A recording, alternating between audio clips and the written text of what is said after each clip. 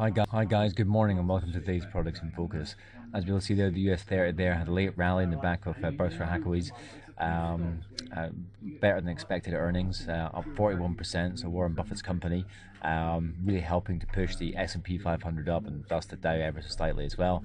Um, we failed to break above 16,598, uh, and we're kind of just kind of floating, standing still right now, just below that potential resistance, and that level will be strategic in the short term. So looking at the UK 100 as well, uh, we're still bouncing around 6,700, which is the low of the uh, 25th of June right here. Again, volatile session, could only eke out a small gain yesterday uh, once all the dust had settled. Um, this looks to be a potential resistance in play today. Um, looking at Japan 225, um, it's actually broken down a little bit lower, below potential support at 15,488, uh, trading below the 21 period SMA. That's kind of bad news for the Japan 225. From a technical level, this looks kind of a bit ugly. Um, obviously, you still got the 55 period SMA right there, but the next potential support would be at 14,977. Should that sell off there continue? Looking at dollar yen, uh, it's not really moving as well. I thought it would have moved a bit further in the back of that Japan 225 move, but disappointing data out of China and their service sector, one of the lowest they've ever had since they started taking uh, records in 2005, really impacted the, the Asian markets, and that's why Japan 225 is also slipping so much. But dollar yen still trying to hold on about this level to decide which direction it's going to go next. 102 spot 90 is still a potential resistance. Any retracement back down might bring you to the 21 and 55, 55 period SMA right here. Following on from that, you got 101 spot 35 as the next potential support level. So moving on to crude oil West Texas, it's tried to have a retracement back up to $99. It's obviously on the right side of that right now.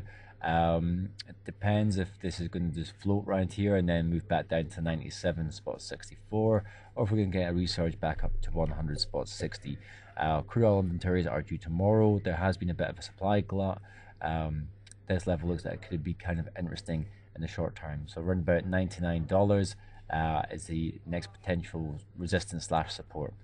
Um, looking at gold, um, gold is uh, again trading that tight range.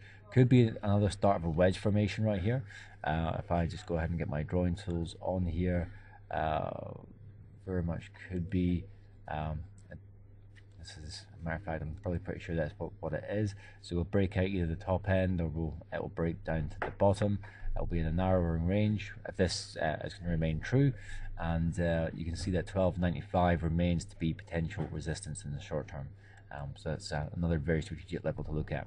So moving on to euro dollar, we did have a, a, spike there on the Friday and a slow drift back down again as the euro begins to lose steam in the back of sanctions, uh, potential sanctions on Russia, which will impact Germany, and obviously you had the um, the kind of banking bailout over in Portugal yesterday as well, but that should put a cap on further losses.